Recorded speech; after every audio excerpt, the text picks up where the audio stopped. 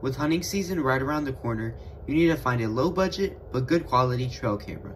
So today I will be unboxing and testing the Wildgame Innovations Cloak Lights Out. Let's get into it. Okay guys, here's the camera. As you can see, the Cloak lights out. 75 feet invisible illumination range, 24 megapixel, and a 0.7 second trigger speed. On the back, here are all the specs. Can pause the video if you want to see them. And um, let's go ahead and unbox it. Okay guys, here's the camera itself. It's a strap for a tree, pole, or anything, and eight AA batteries. Let's pull the camera out. Here's the camera itself. Feels pretty, it is plastic. Feels pretty high quality plastic. Who designed right here. Um, the back, screw adapter. If you open this, as you can see, the panel, SD card.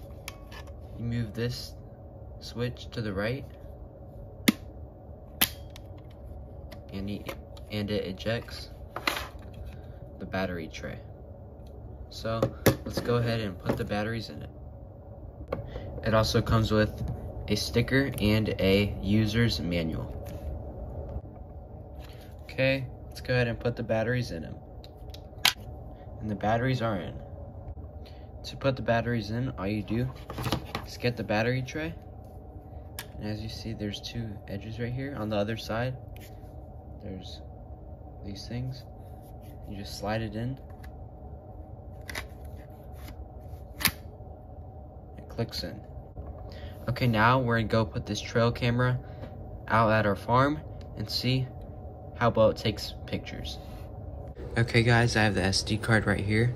I decided to put the camera in my backyard so I can post this video faster on YouTube.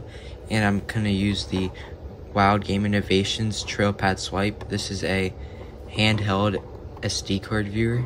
So uh, let's go ahead and put the SD card in. See how the camera takes photos.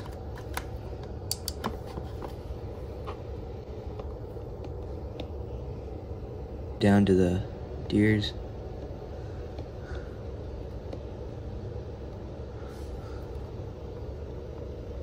Okay. The quality seems pretty nice on it. Uh, some does.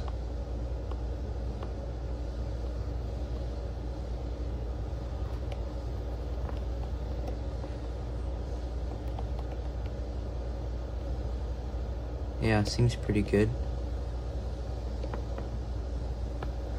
Let's scroll to some nighttime photos with deer.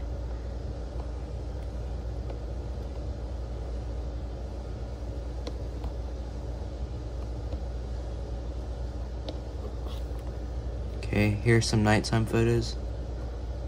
Seems pretty good. Pretty good quality too.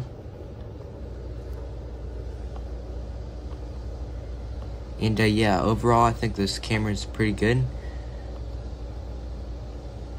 Takes some good quality photos.